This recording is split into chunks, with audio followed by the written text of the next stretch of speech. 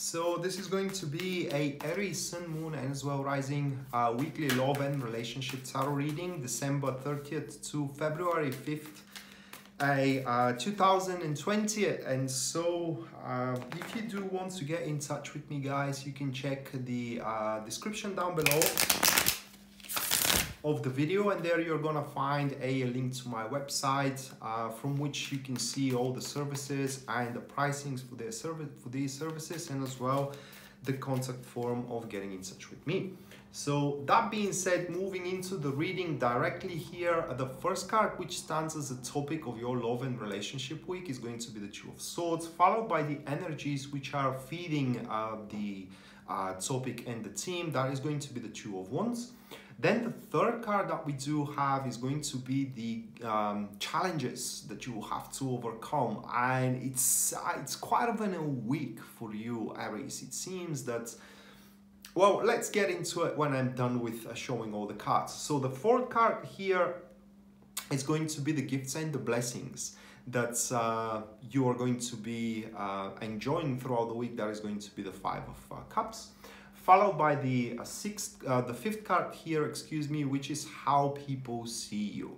And that will be the 10 of um, wands, how people, I mean, how your friends and family is gonna see you, how your person of interest is seeing you, how your partner is seeing you, and so on and so forth. So we do have 10 of wands. The uh, sixth card is um, what is going to help your long-term goal in regards to love and relationship. That will be the temperance followed by the next one which is what is going to hurt your long-term goal um, in, in regards to love and relationship. That is going to be uh, the king of pentacles. And the final one here it is the guidance that tarot is offering. We have the uh, page of wands. All right so uh, first two, uh, we do have double two, so it's kind of like a week of uh, passiveness, but that doesn't mean that the week is not important, all right? Actually, it's very important because you are gonna be in a standstill for a reason being it is, uh, well, a couple of reasons which one is more plausible than the other. Now, one of the reasons it is that you don't want to miss anything and therefore you don't want to make a wrong move. The other reason it is that you have to decide about uh, your love and relationship life, where is going on from now on, and you don't want to make the wrong move. Now, I do believe that it is the second one that is more plausible. That is due to the uh, energies which are feeding the uh, uh, the situation and what I really what kind of a story really tells us it is that you're reaching a point of a uh, of a break okay? Or kind of like of a uh, uh, a breaking point where you just simply don't want to endure certain things in your love life or into your relationship life or whatever. And for that reason you this you are to display you know your expectations in general. So uh, long story short you know you approach or kind of like confront your lover. You say look we can't keep on doing this thing anymore and we have to change something. And you kind of like you are to say what you are expecting to change. And from there it leads to standstill. So you observe is what um, you know your expectations are kind of fulfilled. And uh, that is for a reason being is that um, if you are patient to long to to wait long enough um, then the right decision for you or right direction for you is going to become obvious that being said, the right person for you will become obvious to be with, okay? Uh, the right decision, should you stay or go, it is going to become obvious as well. Uh, should you have a child or not as well, is going to become obvious. So everything that baffles you and you don't know what to do about it, um, if you display your concerns, which you will, by the way, because it's just the energies are going to force you to do so, and then wait to see how the circumstances are aligning in that regard is going to become obvious to you. So you will know what to do in regards to your love and relationship life. And this week, that's why it stands still because you are to observe what is the most potent direction for yourself. So what is going to be the challenge? Now the challenge it is the justice card. Uh, and uh, that is the keen uh, eye for the differences, the a tendency of um, astute discernment into the facts that are presented to you or into the situation that it is happening around you. Okay, so the justice here points that you have to tip the scale or kind of like to tip the scale in balance. Um, it looks like to me that you have um, kind of like gave way too well i would say it that way not not you but one of you have gave or giving too much and now the challenge is going to be those scales to be in a balanced position once again.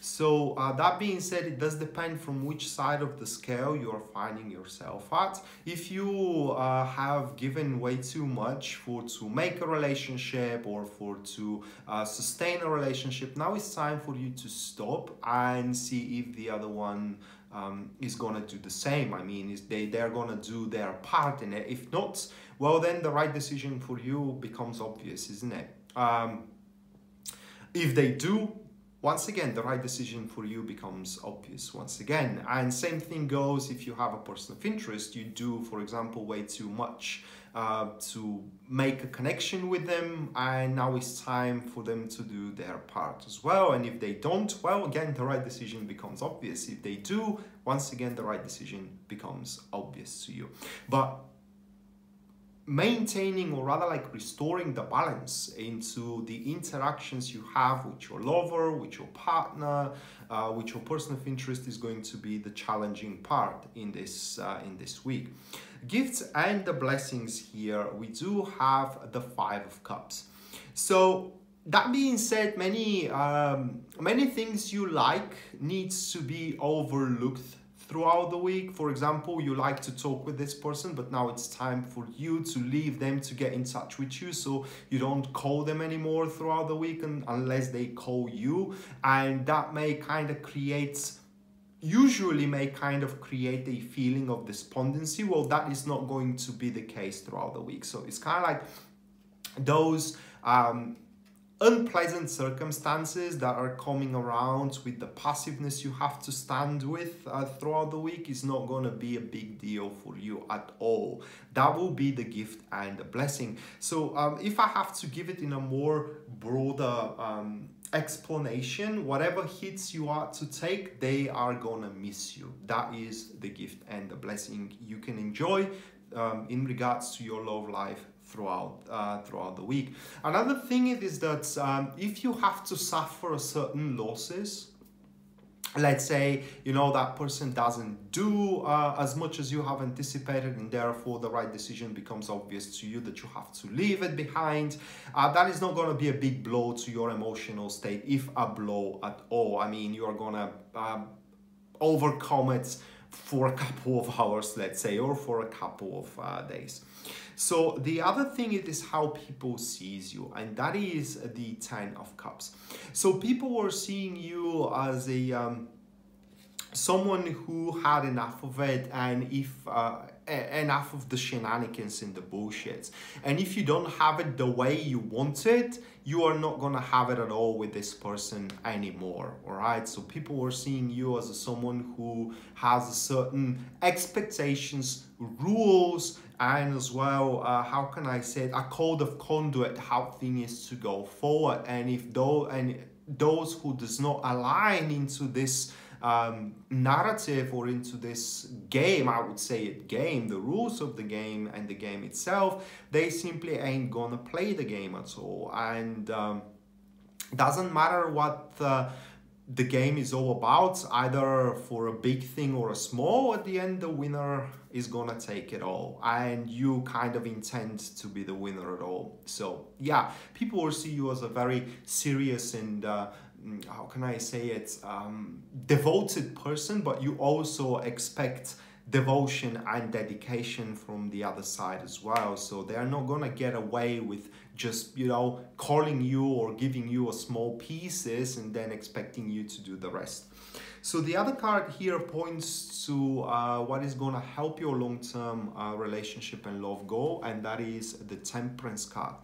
So temperance in regards to love and relationships speaks for the um, self-awareness, if you will, that certain things are simply not meant to happen. And once again uh, it's it's a matter of individual it's a very broad reading to be honest. So how can i explain it? Temperance points that there is a, a certain formula okay? So you do have a certain formula for to be loved or to be happy in a relationship and this formula cannot be reached with every individual right and this is the week where you are to observe is this formula fulfilled by the person you are interested in or by the person you are with? Or is this formula not fulfilled and you have to keep on seeking for someone who is the right ingredient to your formula? That being said, things which are going to help your long term goal are a compassion, solidarity, and also the honor of the differences as well. It's kind of like uh, respecting the different opinion in a sense of that if this person does not fit your formula, well, they are not necessarily bad, they're just not for you, or you are not for them. And you just have to, you know, move on as well, because there is no point trying to uh, make a wine from water because it's not going to happen at all. It's not a philosopher's stone what you have. So uh, the other card here stands for what is going to hurt your long-term goal. And that is a person who is an, a, some, some kind of an advisor to you. And uh, what this person really does, they're saying that if you do, if you give um, as much as you can, eventually the thing is gonna pay off. Well, not in this case. You can give as much as you want if the person does not fit into your formula that you wanna be with or that you um, are with, okay? Things are not gonna happen and vice versa you know if the person fits into your formula no matter no matter what happens the things always are gonna happen. So we do have someone as an advisor who is trying to um, ground you or rather like give you an, an objective uh, explanation of what is going on around and therefore through that objective or kind of like logical explanation things are making sense but as well they are not having a, a physical manifestation at all. Okay they are making sense for the logical side of the explanation but it is not how you feel and therefore you should uh, follow your feelings and your emotions and as well uh, the uh, the urge of your soul instead of uh, following you know just logical explanation. Uh, just to give you an example of it um,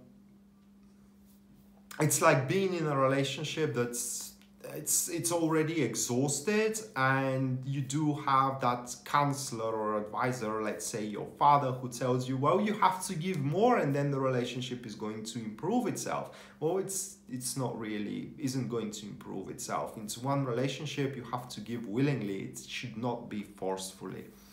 So the last one it is um, the guidance that Tarot is offering to you and that is the page of wands Page of Wands urges you to be um, open for everything new, okay? And under anything new, I'm talking about the new deductions or the conclusions that you are going to come about when the standstill is over, where you already have every information you need in order to make the right decision here.